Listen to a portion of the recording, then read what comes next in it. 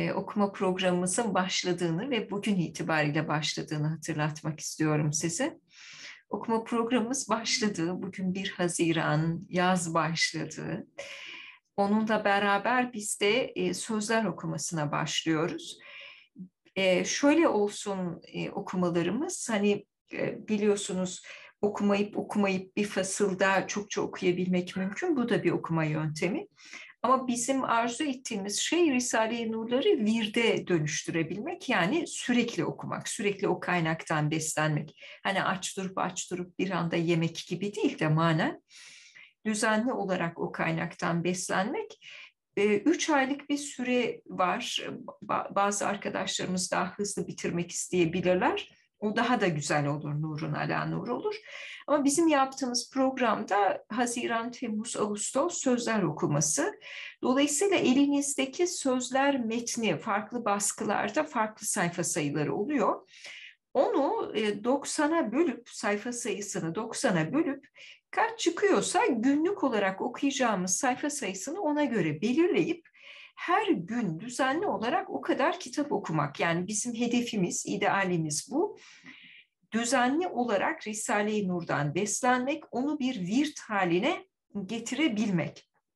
İkincisi, Hoca Efendi'nin kitaplarından okuyacağımız İnancın Gölgesinde kitabı 1 ve 2 tek cilt halinde de basılan nüshalar olabilir elinizde, iki cilt halinde olabilir.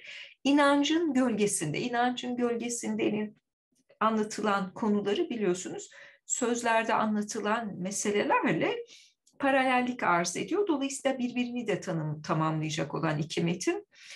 E, eli, ellerinde kitap bulunmayanlar PDF formatından okuyabilirler. İsteyen Asuman'dan yardım isteyebilir, o size gönderebilir inşallah Teala PDF formatını.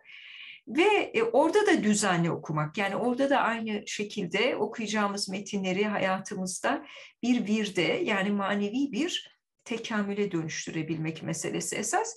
Elinizdeki nüshayı yine bu sefer bir ayda okuyacağız biliyorsunuz. Ee, inancın gölgesinde metni bir aylık kitabımız o bizim.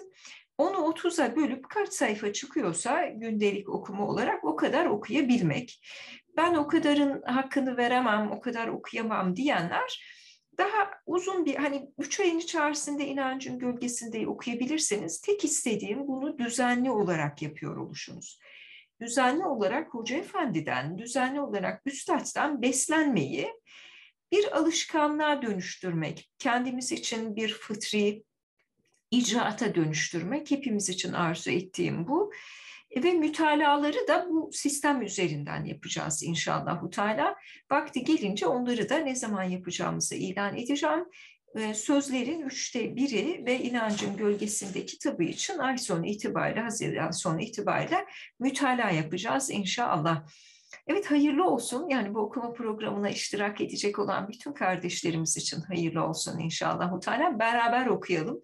Beraber okuyalım derken ayrı ayrı okuyacağız ama e, aynı mananın içerisinde olarak okuyacağız. Aynı e, aynı virt düşüncesiyle birbirimizle e, kalben irtibat halinde okuyacağız. Sonra da cam olup o irtibatımızı dualara dönüştüreceğiz inşallah.